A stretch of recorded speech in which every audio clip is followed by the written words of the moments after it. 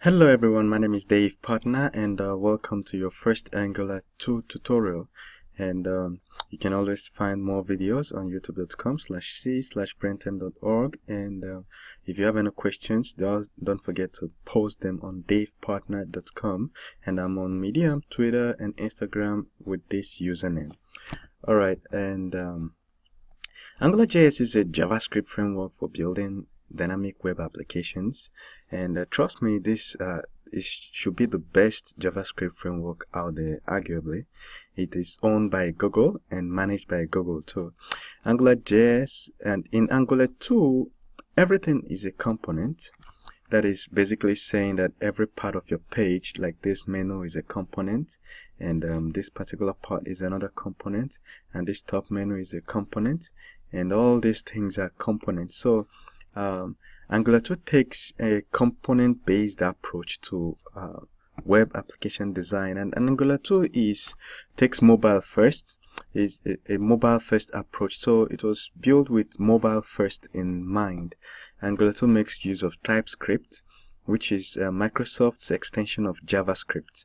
Microsoft basically took JavaScript and put it on steroids. So uh, Google decided to build Angular 2 with TypeScript, alright? Which means um, TypeScript runs on ES6, ECMAScript 6, uh, which means most browsers are not yet um, compatible with ES6. They don't understand it yet, which means after writing your TypeScript code, you you still have to use a transpiler to transpile it into normal JavaScript, which is ES5 that your browser can read. So you see a lot of that happening. So we just um, get it installed. So once we write our code in TypeScript, then by the time our server will simply transpile it, and by the time we get to our browser, it's already running. And uh, Angular 2 is quite easy, way, way easier than Angular 1 and way, way different. So uh, the, don't try to carry your knowledge of Angular, Angular 1 into Angular 2 and if you don't know Angular 1 this is a very good place to start. You start from Angular 2 no need to know Angular 1 okay?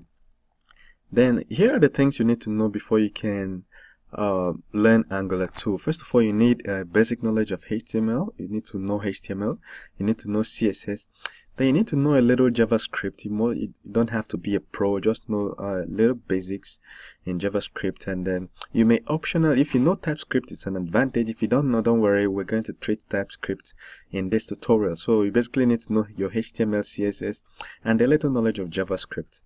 Alright, and um, what are the text editors we'll be using? We'll be using uh, the text editors atom.io I is my newfound love and uh, CodeLobster, these two te text editors. So you go to atom.io and um, download Atom. It's free. Then you download Code Lobster. It's free. If you're using Sublime Text, that's okay too.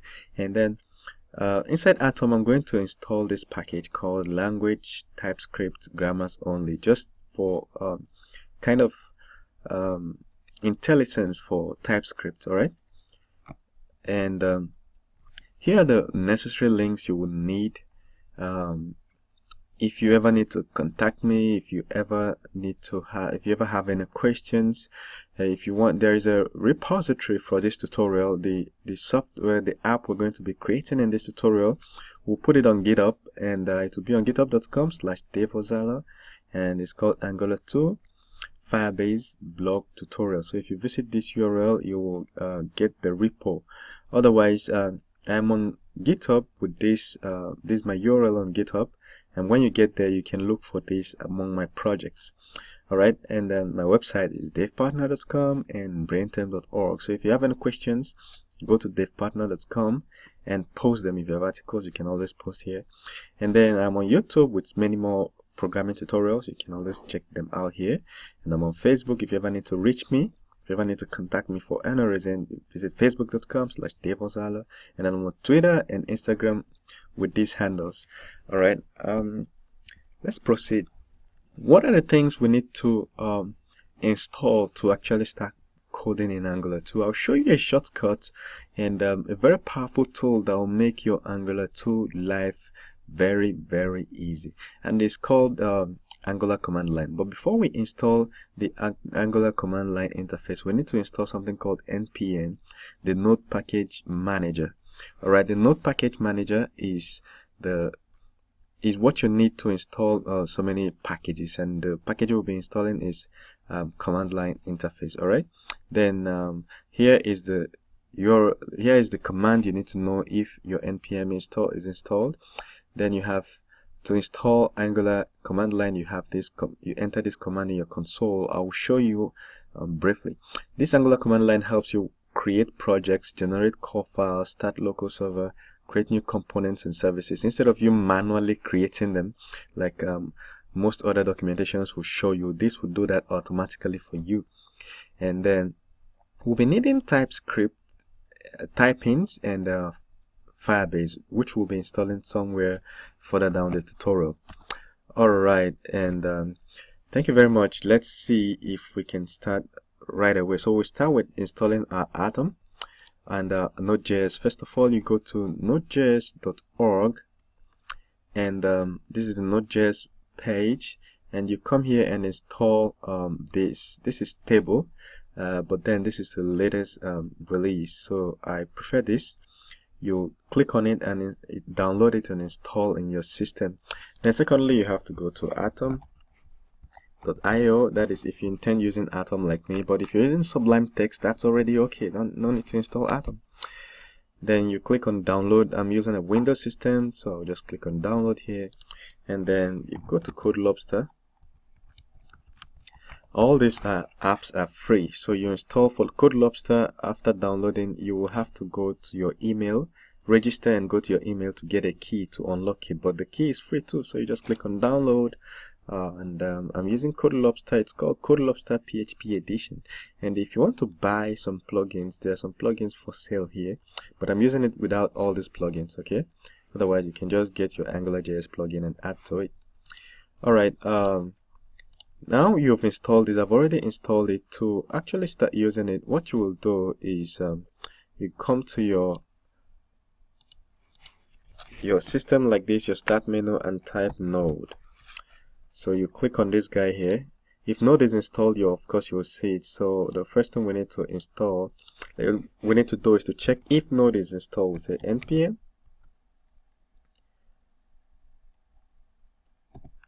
We just say node v. Alright this will show you the version of node you have installed. The one I have is 4.4.3. if this is the first time you're installing node of course you will see 6.9 if you don't see this if you see an error that means node is not even installed in your system. Then the next thing you want to do is to install uh, angular.js you say npm install g for global. It should be global then you say angular cli so you hit enter i've already installed it uh, so i won't be hitting enter but when you type this out you hit enter and of course uh, depending on the speed of your internet connectivity it may take between one minute to 10 minutes. So just go and relax while it pulls the entire files in needs and installs on your system. So once this is done you're basically good to go. All you have to do is navigate to the project folder where you need to create your application and they use the Angular CLI to create your new application. So what I'll do is I'll use this cd command. I like to create my files in a specific place. Otherwise, you should uh, find a way to navigate to any place you want. Um, I will use this command and say c. Well, I already know this part in my system. I'll show you one. Sys4, sys4 slash www. Here is where I want to create my my files. And uh, just to show that to you what I will do is um, I will just open the folder for you. So I'll open the folder for you. I am on C as you can see. I'm going to this C root level and um, I'm going to a folder called WAMSys4 as you can see and I'm going to www. This is just my own choice of creating. I want to create a new project inside this. This is just my own choice. Alright. Um, otherwise, you can just go to your own desktop. And when you get to your desktop, you click here, open your folder, click on desktop and click here. And then you'll get the, um, or create a folder there. Let's just say and call it Angular test angular test all right so we'll just open this folder click here and copy this um, address. So if you copy this address you can just come here and type cd delete what I've already written. Type cd then you right click on your mouse and you have cd this uh, particular folder address. Then you hit enter. So it will navigate you and put you inside that folder. So but I personally prefer to do mine here. If you don't have WAMP installed you won't have this folder that I'm trying to use. WAMP sys4 www I'll hit enter. And then we'll create a new folder a new to create a new project we'll just say ng new. And what do we name our new project? We can just call it angular 2 blog. So the new project folder will be named angular 2 blog inside www so when i hit enter it will go to the internet and um, install a new angular 2 project um, basic files for us all right so we have to wait as you can see it's trying to go online to pull stuff for me so we have to wait in your system depending on your speed of internet connectivity this could take between 1 to 10 minutes. So you just go relax. As for me I'll stop this video and I will continue in the next video after this has been installed. Thank you very much. My name is Dave Partner and welcome uh, and thank you for this tutorial. Don't forget to go to my URL to uh, on github and download or just gain access to the project files to this uh, repository. See you in the next tutorial